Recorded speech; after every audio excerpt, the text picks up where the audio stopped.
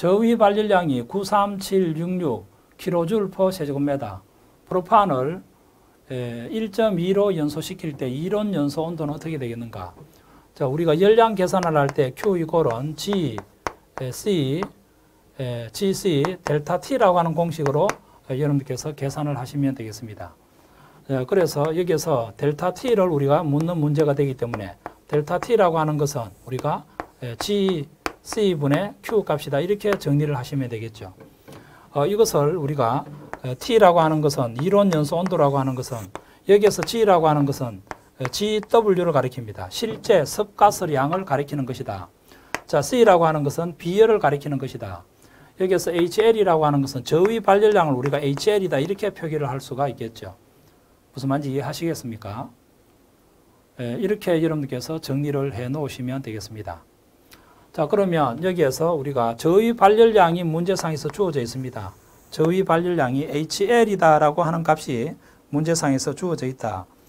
어, 93766 그죠?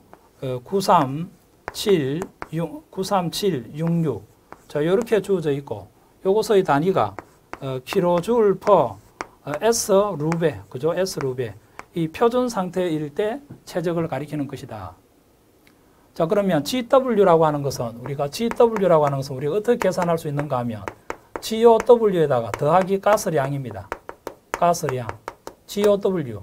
GW는 실제 섭가스량. GOW는 이론 섭가스량이 되는 것이다. 그러면 프로판을 한번 태워보도록 하겠습니다. C3H 8개를 태워보면 5O2, 그죠? 그 다음에 3CO2, 그 다음에 4H2 이렇게 여러분께서 정리를 하실 수가 있겠죠. 자, 그러면 GOW는 우리가 어떻게 또 나타낼 수 있는가? 그죠? GOW라고 하면 공기비를 우리가 M이라고 할 때 M-0.21 어, 가로 닫고 A0 플러스 가스량 이렇게 되는데요. 이 가스량은 이론 섭가스량이 되기 때문에 연소되어서 나오는 여기에서는 수분량을 포함을 합니다. 수분량 포함. 그죠? 수분 포함 이렇게 여러분께서 정리를 하시면 되겠습니다. 수분 포함이다.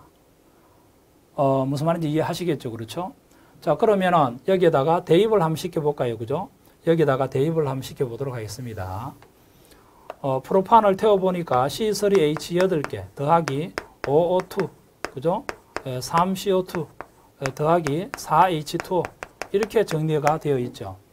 자, 그러면 이, 이 꼴은 M이라고 하는 것은 우리가 공기비를 가리키는 것이기 때문에 공기비가 1.2다. 그죠? 1.2 마이너스 0.21 A0라고 하면 여기에서 뭡니까?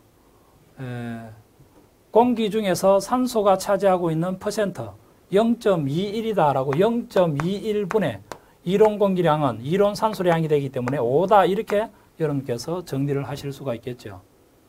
자, 그 다음에 더하기 가스량이다라고 하면 이산화탄소가 3몰이 나오고 이것이 우리가 수분이 되기 때문에 수분량도 3몰 그렇죠?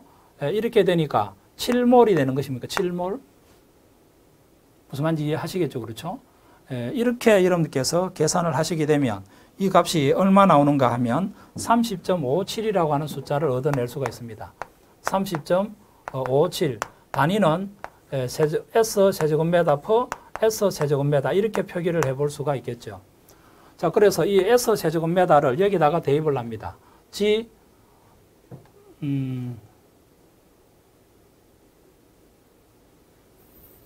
G M-0.21A0 M-0.21A0 그러니까 이게 GW가 되는 것이다. GW 그렇죠? GW가 되는 것이다. 이렇게 여러분들께서 보셔야 되는 것이죠. 어, GW는 자, 요것이 우리가 필요 없겠죠. 그죠? GW라고 하는 것은 M-0.21A0 어, 더하기 가스량이다. 이렇게 요 식만 여러분께서 기억을 하셔야 되겠습니다. 그렇죠? 요 식만 어, 여러분께서 기억을 해 두시면 되겠습니다. 자, 이렇게 계산이 되어진다 이 말입니다. 그렇죠? 자, 그래서 여기에다가 30.57을 여기다가 대입을 한번 시켜 보도록 하겠습니다. 여기다가 30.57 그죠? 30.57 어, S 세제곱미터 per 세제곱미터 S 세제곱미터 이렇게 정리가 되겠습니다. 어, 비열이 1.653 그죠? 어, 1.653 단위는 어, 킬로줄 per 그죠? 예, 킬로줄 per 어, S 세제곱미터 S 세제곱미터 곱하기 K 값이다.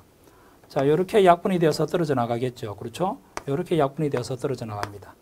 무슨 말인지 이해하시겠죠? 그러니까 얼마 K 값만 이렇게 여러분들께서 단위를 계산을 해낼 수가 있겠습니다. 자, 이게 문제 23번에 관련되어 있는 문제가 되는 것이죠. 그래서 예, 여러분들께서 GW라고 하는 것은 M-0.1A0 더하기 가스량이다. 이 공식을 여러분들께서 기억을 해 두셔야 되는 것이다. 이 공식을 기억을 해 주셔야 되는 것이다. 그러면 이론 뭡니까? GOW는 우리가 어떻게 계산을 하는가? 1 마이너스, 그죠? 1 마이너스 0.21 A0 더하기 가스량이다. 이렇게 여러분들께서 계산을 하시면 되겠습니다. 그러니까 여기에서도 가스량이라고 하면 수분을 포함하는 것이다. 그죠? 수분을 포함하는 것이다. 이렇게 여러분께서 정리를 하실 수가 있겠다. 자, 여하튼 여러분들 GW 계산하는 공식 이것은 여러분께서 암기를 해 두셔야 되는 것입니다. 어디까지? 자, 여기까지 암기를 하셔야 되는 것입니다. 아시겠죠? 그죠? 요거는 암기.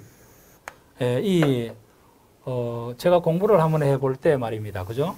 예, 여기에서 GW다라고 하는 거, 그 다음에 GOW다라고 하는 거, 그 다음에 GD다라고 하는 거, 그 다음에 GOD다라고 하는 이와 같은 실제 섭가스량, 그 다음에 이론 섭가스량, 그 다음에 실제 건가스량, 그 다음에 이론 건가스량 이와 같은 어, 문제는 우리가 환경 대기 기사에서 많이 출제되었던 출제되는 그 같은 문제의 유형이다라고 생각을 해 두셔야 되겠습니다.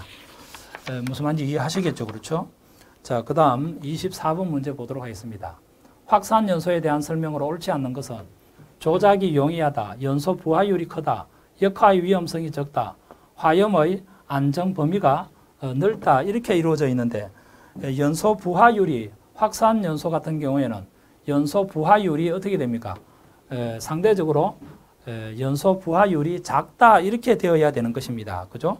연소 부하율이 작다. 에, 여러분, 여러분들 여기에서 연소 부하율이다라고 하는 것은 뭐라고 이야기했습니까? 예, 확산 연소 같은 경우에는 연소 부하율이 작다. 예, 연소 부하율이 큰 것은 예혼합 연소가 되는 것이죠. 무슨 말인지 이해하시겠습니까? 그렇죠? 예, 그래서 답은 2번이 되는 것입니다. 예, 역화의 위험성이 큰 것은 예혼합 연소가 되는 것이다. 이렇게 정리를 해 놓으시면 되겠습니다.